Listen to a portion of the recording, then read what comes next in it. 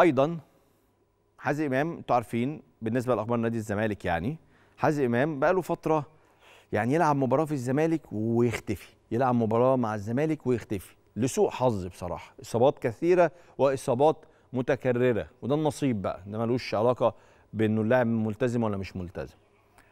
عشان كده في اتجاه داخل نادي الزمالك بعدم التجديد مع حازم إمام بسبب الموضوع ده قصه الإصابات أنا مش عارف أستفيد منه.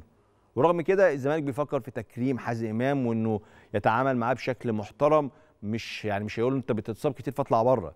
لا بس هو من حق نادي الزمالك إنه يشوف لعيبة تقدر تخدم مصالحه على مدار المواسم القادمة. فحازم ظروفه في الإصابات صعبة شويتين صعبة شويتين ولكن له كل التقدير وله كل الاحترام مننا ومن نادي الزمالك بكل تأكيد. ده بالنسبة لحازم إمام.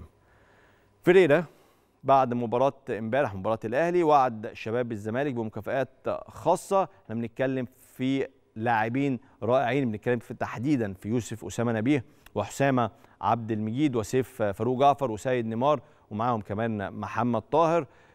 اللعيبة اللي تألقت امبارح ولفتت النظر جدا امبارح آه، إداهم أو وعدهم فيريرا بمكافأة خاصة منه بعد المستوى اللي قدموه في هذه المواجهة والرهان اللي كسبه امبارح. خد بالك أصل ده كان رهان فيريرا.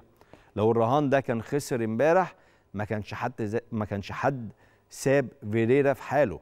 وقال له أنت إزاي تلاعب شباب؟ إزاي تدفع بشباب؟ إزاي تشارك شباب في مباراة زي ديت؟ مباراة ثقيلة عليهم. أنتوا عارفين الجمل الشهيرة بقى أنت كده بتحرقهم أنت كده بتدمرهم أنت كده بتعمل لهم مشاكل أنت كده بتعمل لهم أزمات. وأنت كان عندك على الدكة لعيبة خبرة أنت ليه بت بتجود؟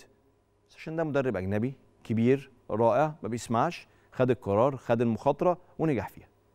ونجح فيها. فيلا كمان قال لعيبة النادي الزمالك النهارده إن البطل بيستمر في المحاربة على اللقب حتى النهاية. عن مع اللعيبة النهارده فيريرا وقال لهم إحنا زي ما إحنا إحنا مكملين بنفس الحماس بنفس القدرات وإحنا سيبكم من الظروف والإصابات والغيابات. البطل بيحارب بيحارب كرويا يعني. بيحارب لحد النهاية. يحارب لحد النهاية عشان ياخد بطولته واللقب اللي يحافظ عليه بعد الموسم الماضي وقال إن هو بيثق في كل اللاعبين وقال كمان أو أكد لهم إنه لازم الحفاظ على الصدارة في الفترة اللي جاية وغلق صفحة مباراة القمة تماما.